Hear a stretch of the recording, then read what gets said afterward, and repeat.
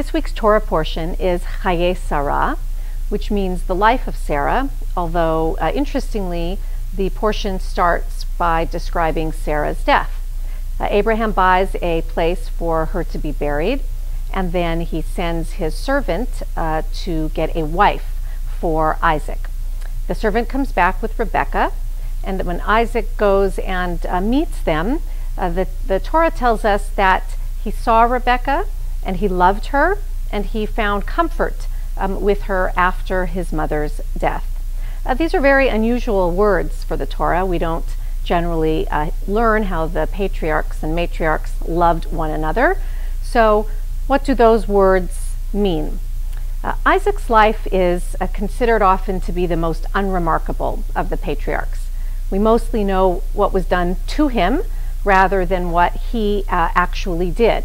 That we know he was nearly sacrificed by his father, and uh, we know that at the end of his life, he was deceived by his son Jacob. So, what about between these two incidents? So, between them, uh, Isaac did a variety of things. He's thought to have been a contemplative personality. He loved his wife. He got along with his neighbors. He uh, felt the presence of God.